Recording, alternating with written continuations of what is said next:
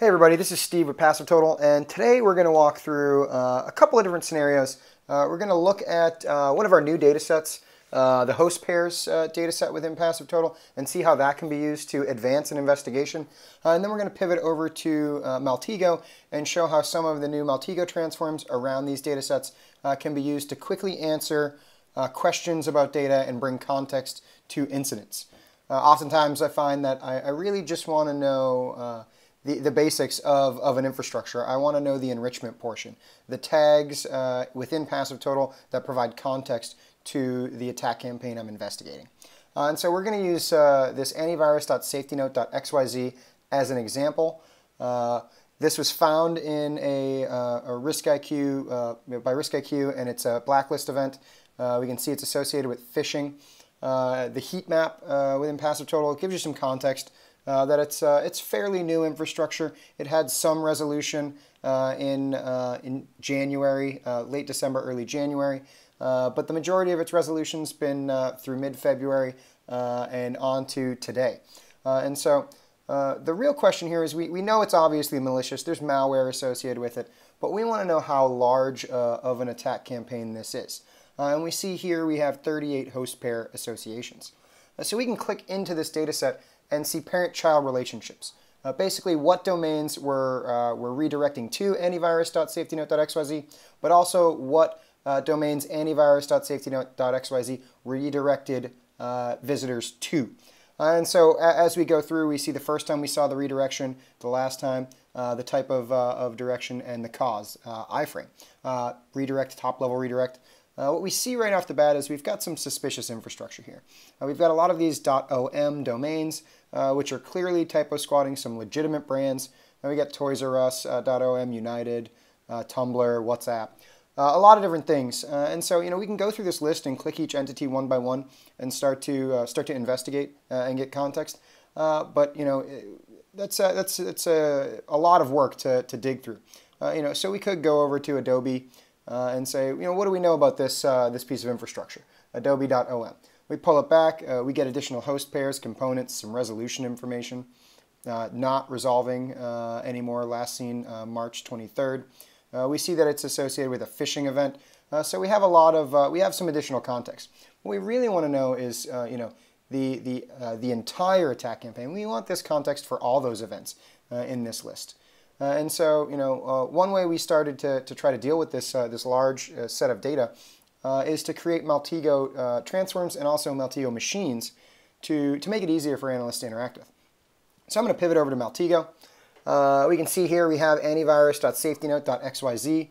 Uh, we could go through and start, you know, interrogating uh, the domain and pulling things. we could pull, you know, child pairs, parent pairs, enrichment uh, and get all that data back and, and start to prune and, and, sift through the data set. Uh, but you know that takes a lot of effort. So uh, we decided to go ahead and create some machines that do this for you.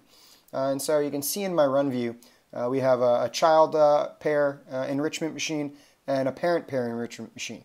and so what these do is they go and they grab the associations from passive total, plot them, enrich those, and then prune off the unwanted data.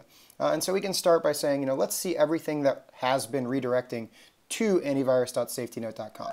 Uh, we can run uh, this machine, uh, pull, a, pull a bunch of data, uh, and when we uh, bring it back together, what we see is we have that enrichment that we want right off the bat. we can see that it appears that, you know, these domains and this IP address we're redirecting to antivirus.safetynote.xyz at some point.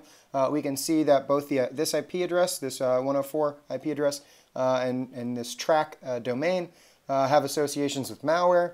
we have a Rackspace IP address, and we have these other unknown entities that we're also seeing redirecting to antivirus.safetynote.xyz. the next step could be show me uh, everything that antivirus.safetynote uh, was redirecting to. So we could come over here and do child pairs uh, with transforms, uh, but then we'd have to go through that whole process of getting enrichment. So instead, we're going to come to our machines, uh, and now we're going to run our child pair enrichment machine. And so we run that, and we're bringing additional context in. You see right off the bat, we're pulling, there's 36 entity associations. a lot's going on here. Maltego's breaking it all down. Uh, and when we, when we fit that view back together, uh, we see that we have a lot of additional information. Uh, so we have our, our two parent redirects, but now we have uh, a, a, handful of child redirects as well. We have the adobe.om redirect, as we saw on the platform. it has that blacklist information.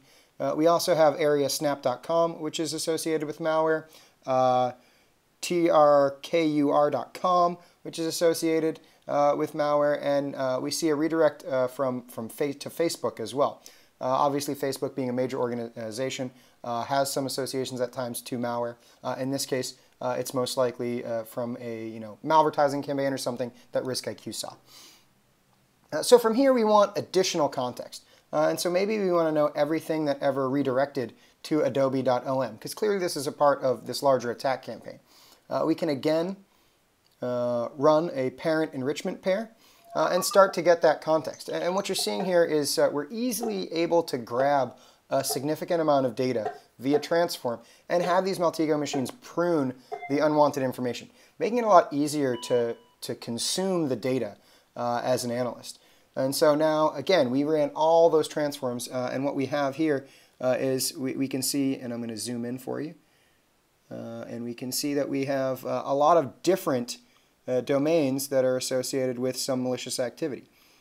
Uh, we have av.securityalert.xyz, which is on our blacklist. We have uh, freegiveaways.cm.xyz, uh, also associated with phishing and on our blacklist. Uh, and so, you know, we've quickly been able to grab a significant amount of infrastructure that's associated with this attack campaign and get a, a large, larger picture of, uh, of what's going on.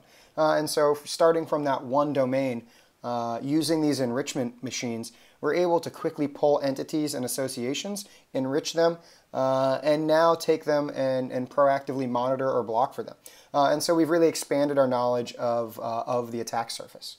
Uh, as always, uh, if there are any questions with, with what we've shown today, please feel free to reach out to us at feedback at passivetotal.org. always appreciate analyst comments, and thanks for their time.